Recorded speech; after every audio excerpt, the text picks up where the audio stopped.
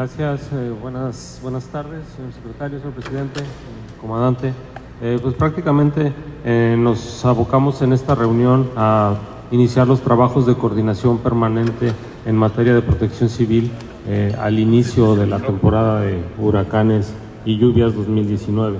con la participación de las unidades municipales de San Sebastián del Oeste, de Cabo Corrientes, de La Huerta, y las unidades, eh, la Unidad Estatal de Protección Civil. De igual forma también nos acompañaron secretarías del Gobierno del Estado en las cuales se, se, iniciaron los trabajos de coordinación y los acuerdos en los cuales vamos a trabajar de una forma coordinada y surgen los compromisos de una coordinación permanente, de un, una información y comunicación a través de, de, la unidad estatal. De igual forma también eh, trabajar con la comunidad eh, extranjera eh, dentro de los eh, avisos de protección civil dentro del idioma inglés. Y también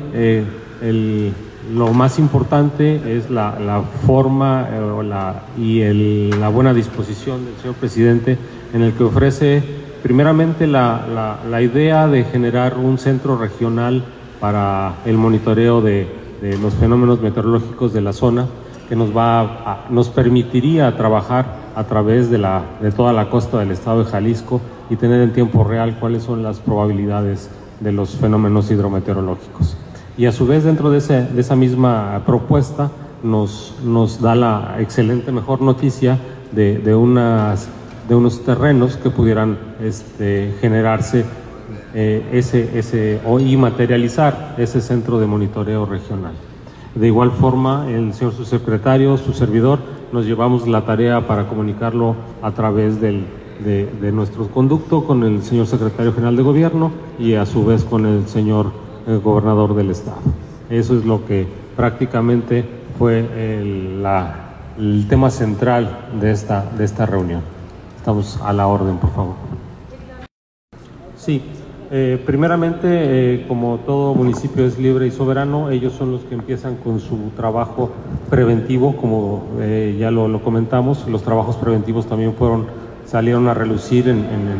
lo que fue el grueso de la, de la reunión. el comandante Bobadilla y nuestro señor presidente Arturo Durán nos, nos, informan de los avances que llevan dentro de, del trabajo. Posteriormente, cuando la capacidad del municipio pueda ser rebasada en cuestión de, operación y nosotros entraríamos en materia de coordinación. ¿Por qué? Porque ellos van a necesitar las manos necesarias, valga la redundancia, de, de su personal en el campo y el proceso administrativo pudiera pasar a manos de nosotros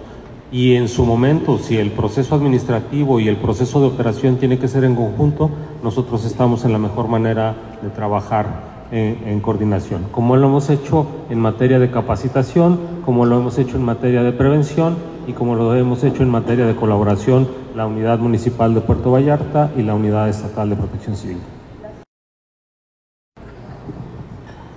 Ya el maestro Víctor dio un adelanto de los del pronóstico de cuántos huracanes podrían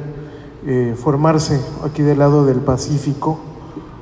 y para que tenga información la población cómo va a actuar Protección Civil del Estado, qué apoyos va a brindar, cuánto personal tiene y cuál es en sí su, su labor que va a llevar a cabo. Bueno, primeramente, la Unidad Estatal de Protección Civil eh, va a reforzar los, los recursos que la unidad municipal de Puerto Vallarta tenga a disponer. De igual forma nosotros podemos trabajar en forma de administración de la emergencia a través de nuestro proyecto de sistema de comando de incidentes, que obviamente el, comandante Bobadilla maneja a la perfección y nosotros podemos integrarnos de esa manera. A su vez, eh, eh, dependiendo de la magnitud del, del proceso o del fenómeno perturbador, las diferentes áreas del, del, gobierno del Estado irán ingresando dentro del sistema estatal de protección civil. No solamente será el personal operativo de lo que compone la Dirección General de la Unidad Estatal de Protección Civil, sino el, el, grueso del, del, gobierno del Estado, coordinado a través de, de, la Dirección General, lo que puede ser el sistema de asistencia social, eh, de ahí prevalece el DIF, eh, SADER, todas las dependencias del gobierno del Estado y dependiendo de la magnitud será lo que pudiéramos eh, reconcentrar en, el lugar. Esperemos que los recursos a aplicar no sean eh, cuantiosos porque a mayor cantidad de recursos obviamente tendremos mayor cantidad de afectación en la población. Pero la, sinergia que tenemos con las dependencias del gobierno del Estado a través de los diferentes secretarios y directores será el producto que nosotros pudiéramos aportar. La instrucción del gobernador en este sentido fue que a partir de esta mesa de coordinación que se, que se instaló el día de hoy, fueran con, con instrucciones muy precisas la participación en cualquier eventualidad de parte de la Secretaría de, de, Seguridad, la Secretaría de Educación, la Secretaría de Salud, en fin, todos los eh, activos que pueda tener el gobierno a cubrir cualquier eventualidad. Entendemos perfectamente que la mayoría de los presidentes municipales, así como nuestra propia